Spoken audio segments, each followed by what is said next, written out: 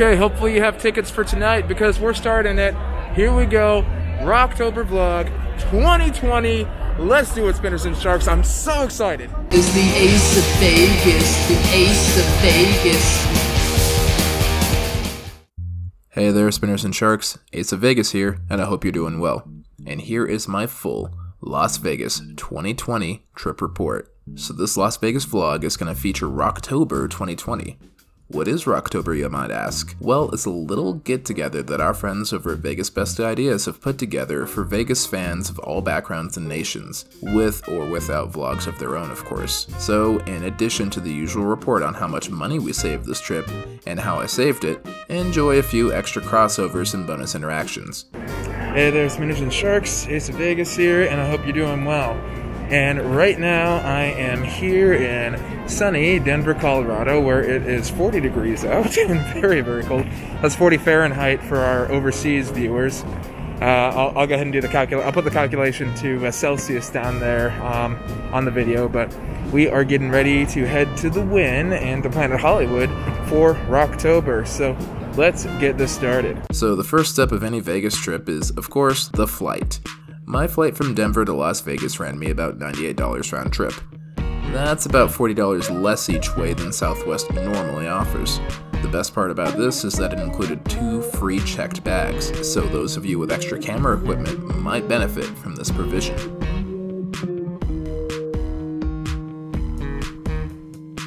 We found hotel rooms in two different places. A short lift ride took us to our first destination. Our first is the very last of our free room credits over at the Wynn Hotel and Casino, Las Vegas. For the very low sum of 3,000 gems, we were able to secure a weekend room rate. The rough equivalent is about 10 gems to a dollar when it comes down to room rates at the Wynn meaning we saved over $300, not including taxes and resort fees, of course. We also got an upgrade to a panoramic room again which are typically another $50 a night at least.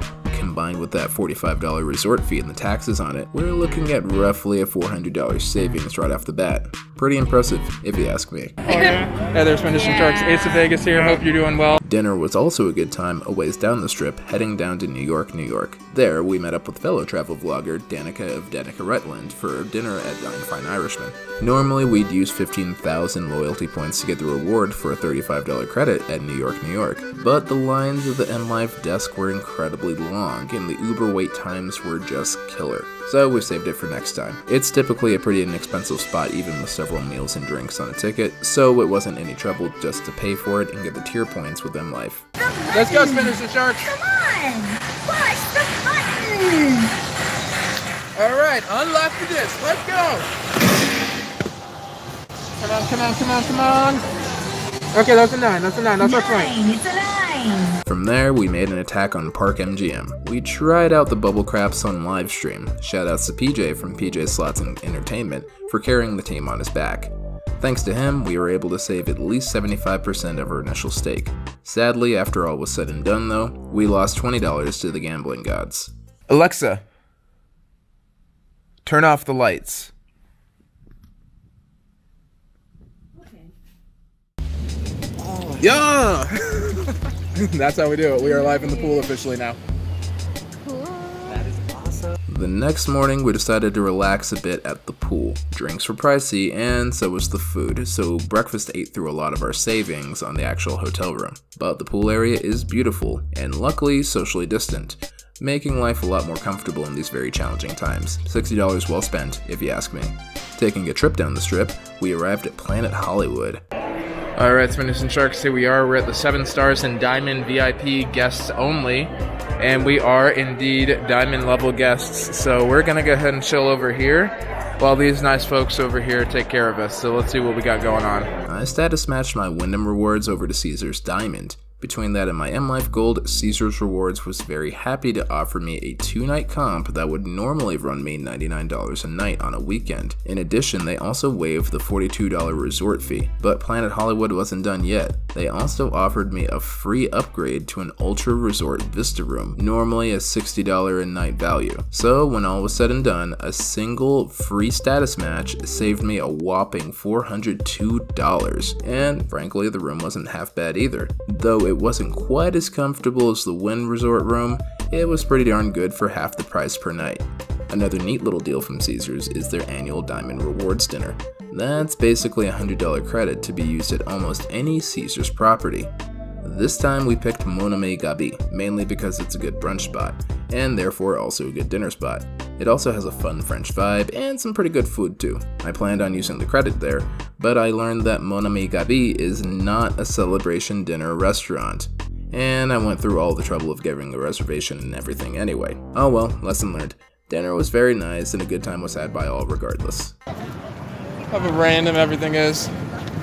That's the best part about Vegas. This is just so ra- and there goes Superman. Okay. There's a Superman on a freaking like hoverboard. From then on, it was time to make our way down the strip once again, back to the Wynn, to hang out with our friends Pennies for Vegas, and of course JR from Vegas Tips and Tricks. There began a very delicate cultural exchange. Pennies brought Caesars down from Canada, and in return, I requested the strongest brass monkeys that the Mirage could offer. We used up our 2 for 1 drink coupons at both bars of the Mirage, saving us a total of $24 on drinks. The party didn't end there though. Pennies led the charge to get a fresh glass of 9 cent Texas tea next door at Phil Ruffin's Trash Island, or Treasure Island for the uninitiated. While Pennies stayed afloat long enough to empty TI's supply of Budweisers, I decided to see what their Mexican beer stores were like, and was greeted by another surprise. We got some fucking ducks, man. I shouldn't have said the F word. I apologize. Ducks in a row paid out, and I won a solid $37 to make up for my losses at Park MGM. Huh, an empty Vegas pool. Now that's a rare sight right now. Let's go investigate why. If it's open yet.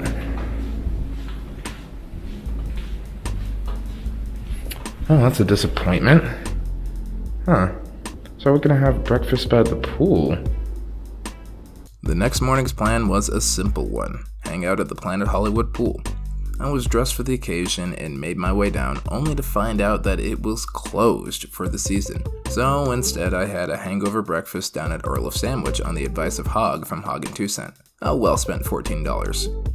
Another walk down the strip took me and my group down to Denny's Las Vegas. Yeah, I said Denny's, we were in a bit of a brunch mood, and Hash House A Go Go was packed to the gills. Their breakfast, so just looking at everything, you actually get starters here. Surprisingly, they were actually pretty good, and the fact that they offered alcohol certainly didn't hurt the restaurant's rating either. The food itself is about the same as your average Denny's, so I probably wouldn't make a special trip for it, but it was a much shorter wait and it was nice to make a meal decision without worrying about a reservation. Shoutouts to my boy Muscle Tech for treating. Okay, so Cinnamon's a little late right now. She didn't get into her room until 5, and it's already just about time for uh, October. But we did get this from the uh, from the desk here. Check this out. Free admission right there. So we got two free tickets to the LINQ High Roller just for being a diamond member at Caesars Rewards. This is how you rock the comps, guys. And this is how you rock the Tober. So we'll go ahead and go catch up with Sin, and then we're gonna get down to the LINQ. And then, from that night on, was the full Rocktober party. And my last chance to take advantage of a special extra comp that my Caesars Diamond card offered. This one was for the High Roller. My Diamond Access offered me two free anytime tickets to the LINQ High Roller observation wheel, saving me a solid $78. And because I was a Diamond member, it enabled me to skip the line. Definitely worth the work in getting the status match done. Rocktober festivities were in full swing and the night had just begun. There were shenanigans to be had not only at the High Roller, but also down at Stage Door Las Vegas. We continued down through Ellis Island to enjoy the front yard. Sadly, karaoke wasn't open due to the you know what, but that didn't stop everyone from drinking and carrying on regardless. And finally, the night ended quietly and comfortably at Henry's Las Vegas in the Cosmo Hotel and Casino. If I've learned anything from this experience, it's this jump on those comps now, even without taking advantage of what MyVegas had, as I only ended up using two comps from them the whole trip.